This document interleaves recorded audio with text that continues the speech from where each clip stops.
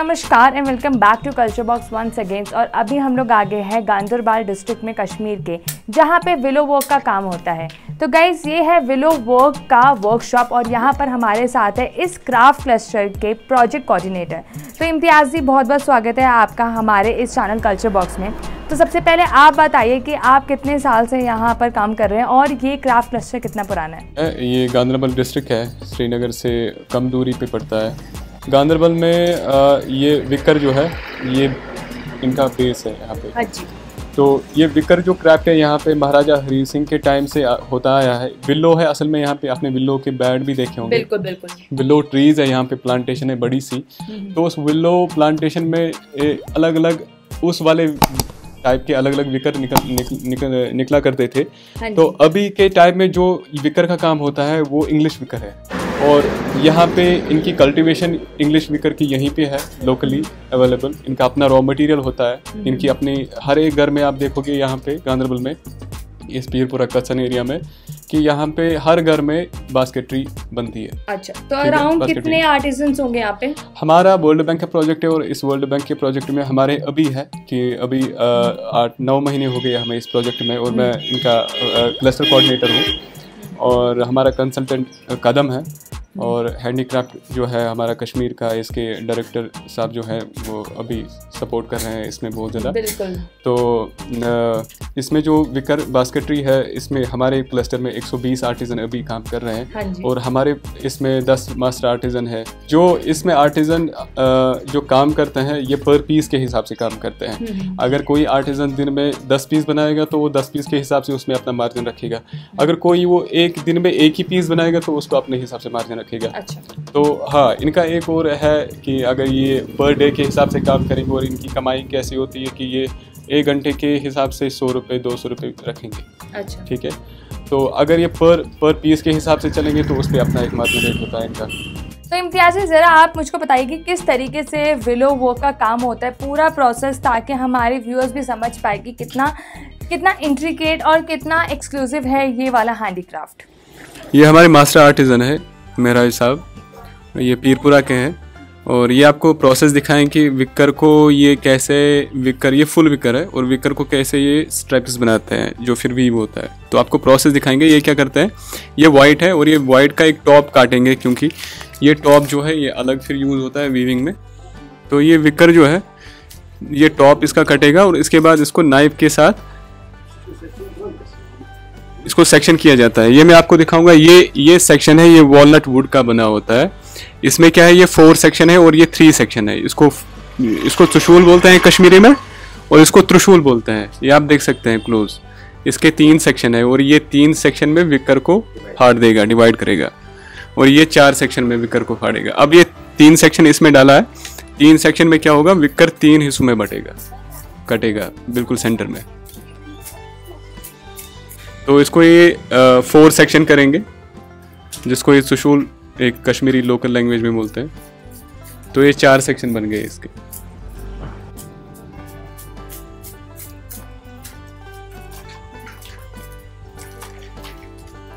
तो दो विकर से हमारा इतना रॉ मटेरियल निकला है। अब इसमें क्या होगा? अब ये अब ये प्लेनर यूज़ करेंगे। प्लेनर से जो है इसका अंदर वाला जो अ, जो यूज़ नहीं होता इसे ही मशीन बोलते हैं प्लेनर को।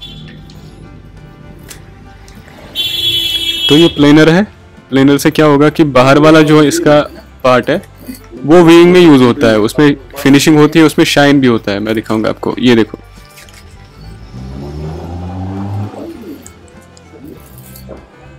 ये ये इसने अंदर वाला हिस्सा क्लियर किया है इसका, और ये बाहर वाला है। बाहर वाले में क्या होता है? फिनिशिंग अच्छा होता है। फाइबर बिल्कुल ग्लॉसी होता है। और ये जो प्लेन करके वो वाला पार्ट जो निकलता है इसका ये वेस्टेज है। तो विकर में वेस्टेज जो है ये फोर्टी सेवेंटी है। यानी कि इसका फोर्टी परसेंट निकलेगा आपको रॉ मटेरियल जो यूज़ होता है और इसका सिक्सटी परसेंट जो है वो वेस्टेज है। तो ये हो गया प्लेनर हमारा प्लेनर करके हमारा रॉ मटेरियल जो है ये हम वीव कर सकते हैं अभी। पर इसमें क्या है कि रॉ मटेरियल जो है आप विकर देखोगे ऊपर से लेके नीचे तक। विकर में क्या होता है कि नीचे मोटा होता है, ऊपर बिल्कुल पतला होता है। और इसको अब ये रिसाइज करेंगे साइड से एज उसे बोलते हैं अपरेट अभी अपरेट टूल यूज़ करेंगे इसमें। तो अपरेट से क्या होगा, ये बिल्कुल एक प्री साइज़ साइज़ इसका एक ही हो जाएगा, ऊपर से लेके नीचे तक। तो ये रिसाइज कर रहे हैं इसको। साइड वाले जो एज है बिल्कुल एक ही साइज़ के बनेंगे। तो एंड टू एंड जो इसका पार्ट है विकर का वो एक ही साइज़ का बनेगा।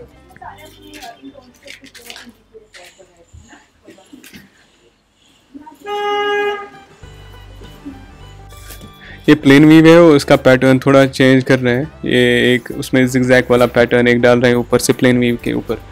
और प्लेन वीव हमारा ये होता है लोकली जो है। ये ये प्लेन वीव है।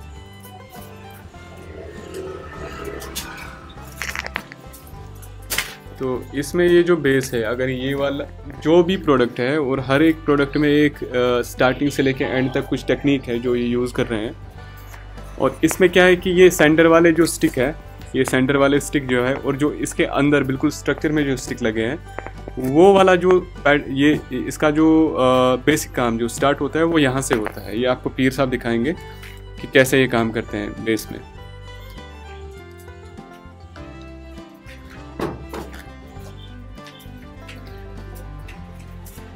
तो ये जो टूल है जिससे ये कर रहे हैं, इसको लोकल लैंग्वेज में हम इसको बोलते हैं एर आरी बोलते हैं इसको।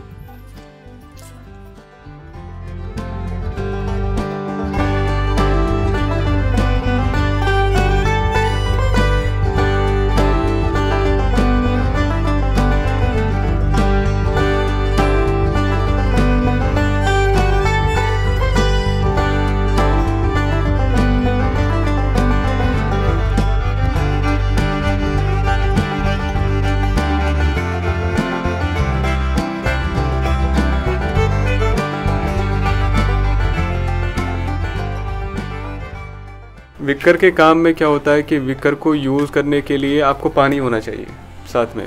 पानी से क्या होता है कि इसका जो फाइबर है जितना ये फ्लेक्सिबल होगा उतना आप इसको मोड़ के वीव कर सकते हैं। तो इसको क्या करते हैं विकर को पानी में डुबो के ये वेट होता है बाहर से और ये इसके अंदर ऑलरेडी पानी है क्योंकि जब भी विकर ये यूज़ करते हैं पूरा विकर ये पानी में 24 घंटे तक भिगोने के लिए रखते हैं पानी में। तो उसके बाद इसको यूज़ पे ला, लाया जाता है। पर यहाँ पे काम के दौरान भी विकर जब सूख जाता है तो इसको, इनको पानी की ज़रूरत पड़ती है। तो बार बार इसको बार बार नहीं, जब इनको लगता है कि पानी की ज़रूरत है मॉइस्चर ख़त्म हो गया तो ये पानी में इसको डुबो देते हैं और उसके बाद इसको यूज़ पे लाते हैं।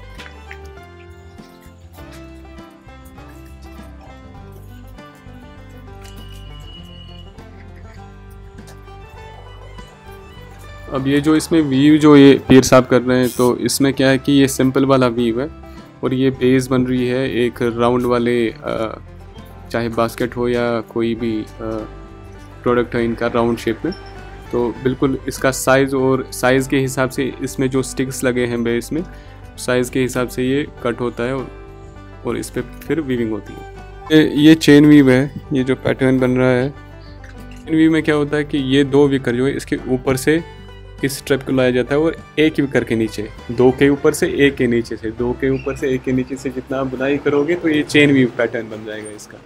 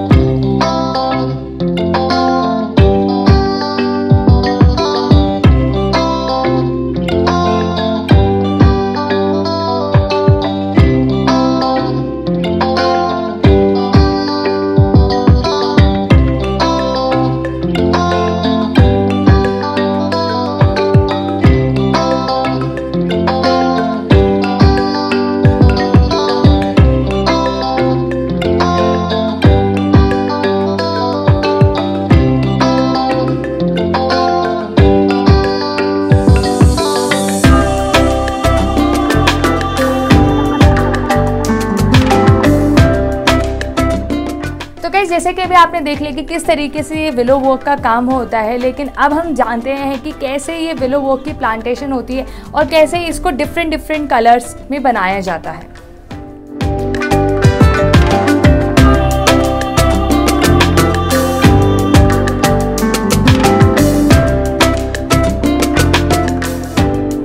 ये हमारी प्लांटेशन है यहाँ पे जो विकर प्लांटेशन है। तो विकर जो है ये नेचुरल फाइबर है हंड्रेड परसेंट नेचुरल फाइबर है। और ये ये आर्टिजन के अपनी लैंड है यहाँ से। इनकी अपनी राइस फ़ील्ड है और इनकी अपने कल्टीवेशन होती है यहाँ की विकर की। और ये विकर जो है जो मेरे बैक साइड से आप देख सकते हैं ये विकर है। ये इंग्लिश विकर है और इस विकर के आ, दो सीज़न होते हैं इनके हार हार्वेस्ट के। तो एक तो ये नवंबर के करीब काटा जाता है। और जो नवंबर में काट के इसको, उसके बाद बॉयलर में डाल के इसको बॉयल करते हैं 24 घंटे, वो बॉयलर भी आपको दिखाएँगे। और इसको फिर छीला जाता है और विकर का पूरा प्रिपरेशन होता है इसको तैयार करने का।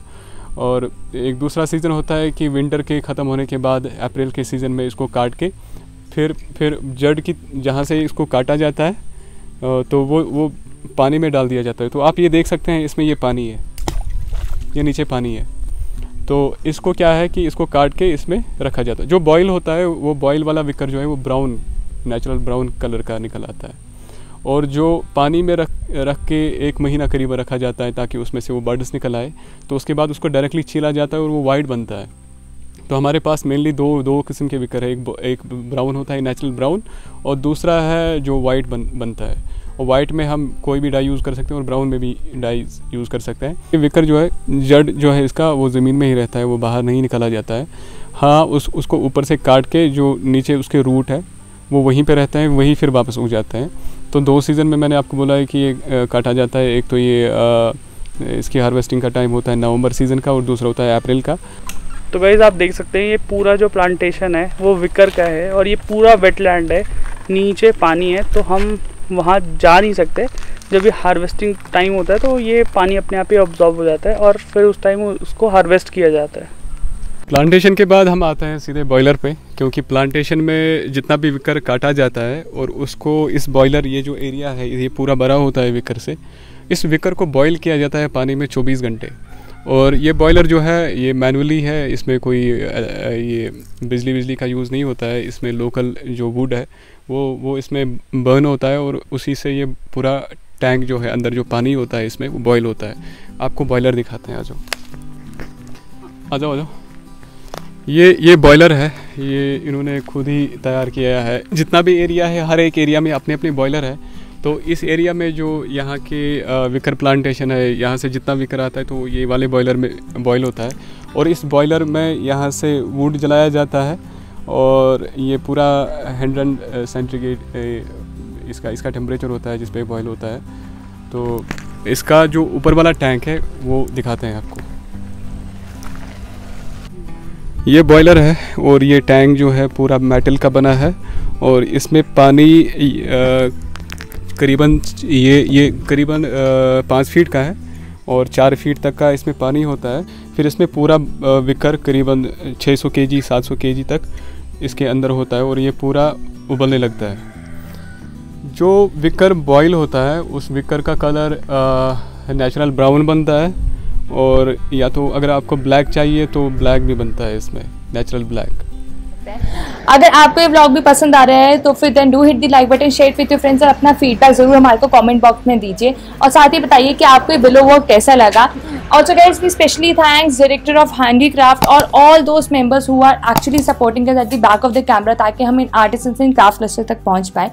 And guys will literally and seriously request you कि आप डायरेक्टली आर्टिसन से कनेक्ट होइए। अगर आप भी चाहते हैं क्राफ्ट क्लस्टर से कनेक्ट होना तो फिर इनका जो नंबर है, वो स्क्रीन पर फ्लैश हो रहा होगा या हम इनकी प्रॉपर कॉन्टैक्ट डिटेल्स डिस्क्रिप्शन में डाल देंगे। So thank you so much इम्तियाजी अपना इतना ज़्यादा टाइम देने के लिए। लेकिन चलते चलते मैं ये पूछना चाहूँगी कि अगर आपके पास कोई परेशानी है कोई चैलेंजेस आप फेस कर रहे हैं या कोई एंड नोट अगर आप गवर्नमेंट तक पहुँचाना चाहें। हाँ मैं चाहूँगा कि अगर हम लोकली यहाँ पे काम करना चाहेंगे कश्मीर में तो उसमें हमें मार्केट का सपोर्ट होना चाहिए कि उसमें हमें प्रमोशन चाहिए ताकि हमारी शाकसाज कंपनी को कश्मीर का बच्चा बच्चा जाने। बिल्कुल। क्या बात? तो दैट मीन्स गाइस कि हमारे को भी उतना ज़्यादा सपोर्ट करना है इस क्राफ्ट को, ताकि कहीं ना कहीं ये आर्ट ख़त्म ना हो एंड गाइज़ अगर आप भी चाहते हैं कि आप भी इन क्राफ्ट को सपोर्ट करें तो आप जब भी कश्मीर आए, आप विलो वर्क की चीज़ें ज़रूर आर्टिसन से लीजिए बिकॉज़ विलो वर्क का अभी तक कोई मशीन नहीं बनाए दैट मीन्स आप जो भी चीज़ लेंगे कश्मीर से, वो डायरेक्टली यहाँ पे आर्टिसन को बेनिफिट करेगा, और वो हंड्रेड परसेंट हैंडमेड होगा। जैसे कि अभी आपने देखा इस आर्टिसन जैसे काम कर रहे थे। तो इसी के साथ हम इस ब्लॉग को एंड करते हैं। तब तक बाय बी सेफ़ एंड मिलते हैं आपसे नेक्स्ट ब्लॉग में एक नए आर्टिसन के साथ एक नए क्राफ्ट लेके कश्मीर का और साथ ही बताएँगे एक नई स्टोरी तब तक नमस्कार।